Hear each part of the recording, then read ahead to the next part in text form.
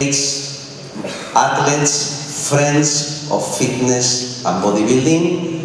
In behalf of the International Bodybuilding Federation, I wish to welcome you to this great championship in which the victory is for healthy lifestyle and for sport.